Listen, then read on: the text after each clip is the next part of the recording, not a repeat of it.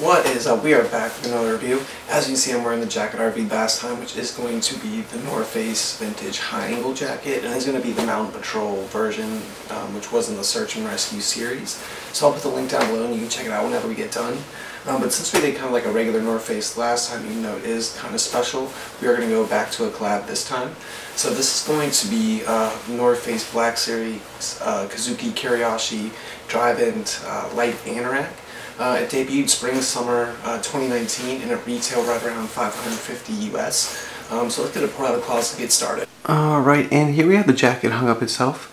And uh, like I said, this is the North Face Black Series uh, Kazuki Kuraishi DryVent Light Anorak. And it did cost right around $550. So let's get a little bit closer look. It's 100% nylon and it's supposed to be windproof and uh, waterproof as well. And you see we have the drawstrings right here we have the embroidered North Face right here. And then we have the drawstring, um, which you can conveniently convert this whole jacket into this pouch and just wear it like you would um, like a satchel or something like that. But we do have a pocket right here, which is nice. And then we have two zippered pockets right here. One right there, and then we have another one right there. As you can see, this jacket is going to be DryVent, and then we do have Velcro adjustments on both sides. And then as you can see right here, we have the uh, latitude and longitude of Yosemite. Um, well, it's Half Dome in Yosemite, and that's going to be in California, kind of where North Face was founded. But you can see we have a nice brim on the hood.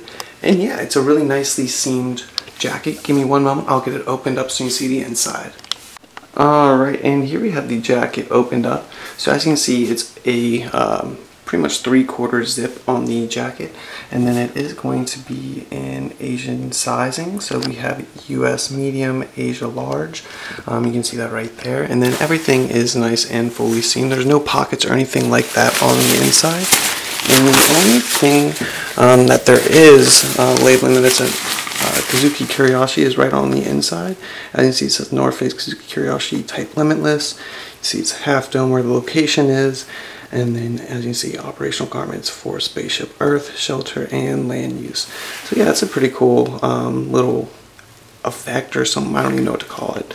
Um, feature. I guess we can call it a feature. But that's on the inside. Give me just one moment. I'll get it flipped over so you can see the back.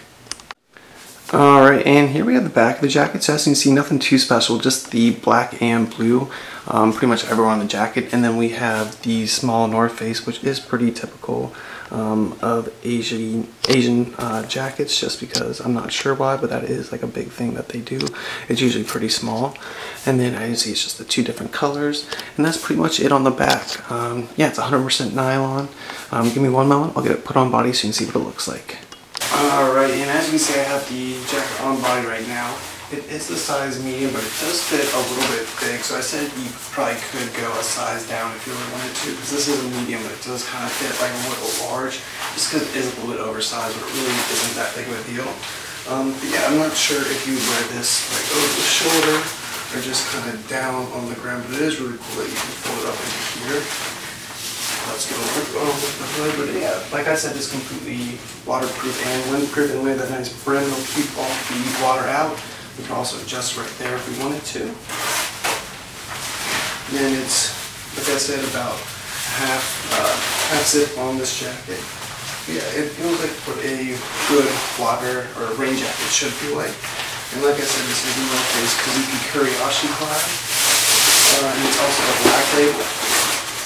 And I'm not sure if like this is the proper way to do it, but I do think you can store it uh, in this front pouch right here. So let's get that put in there real quick. Have that all in there. And you can see, just put it over the shoulder and you're all set and you wear it like that. So overall, it's a really cool jacket. I've never seen anything kind of fold into like a satchel, whatever you would call this. So yeah, it's a really different design. Um, yeah, make sure you like and subscribe if you like the video. Add me on Instagram and Twitter. It's going to be the rare face, kind of like the North Face, but it's the rare face. And other than that, we'll be back next review. Thank you.